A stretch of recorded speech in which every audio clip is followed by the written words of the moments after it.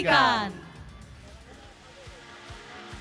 Bapak Ibu hadirin yang berbahagia, dalam rangka pelantikan Presiden dan Wakil Presiden Republik Indonesia, Korps Sabara Bahar Kampolri melaksanakan patroli presisi yang terdiri dari satuan pasukan unit K9, unit Turangga, dan tim patroli perintis.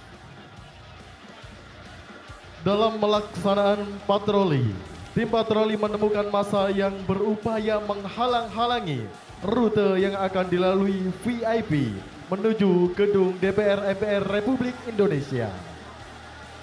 Patroli presisi ini dipimpin oleh Ajun Komisaris Besar Polisi Rahmat Sujatmiko SIK MH, Kasubden A Perintis Korsabara Bahar Kampolri. Dan selanjutnya, unit Turungga, Turangga berusaha berdialog dengan sekelompok massa tersebut untuk membubarkan diri.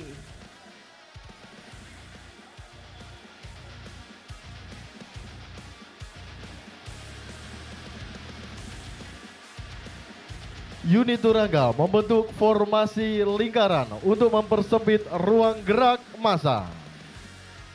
Unit Turangga merupakan representasi dari kesiapan dan kesikapan Polri dalam menghadapi berbagai tantangan.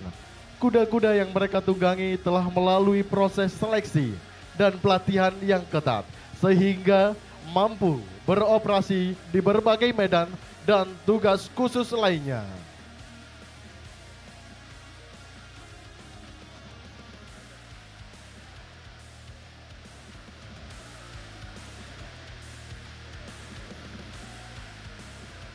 Dalam upayanya, unit Turangga ini tidak dihiraukan dan justru masa semakin agresif sehingga tim Turangga melaksanakan lintas ganti dengan tim perintis.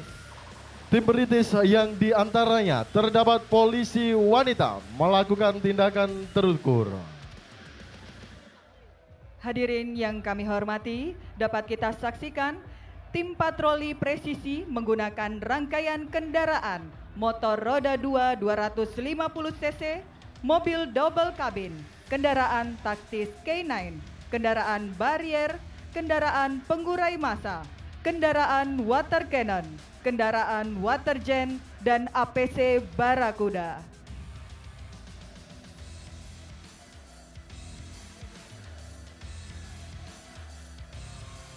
Di saat tim perintis melakukan penanganan unit K9 yang melekat dalam patroli presisi mendeteksi adanya seseorang yang membawa barang terlarang berupa narkoba dan bersamaan dengan itu pelaku langsung diamankan.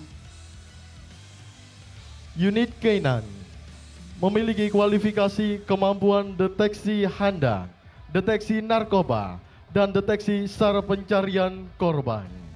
Saat ini terlihat oknum dari masa melakukan perlawanan dengan menggunakan tongkat dan secara sigap petugas melakukan penanganan dengan teknik bela diri untuk mengamankan oknum masa tersebut.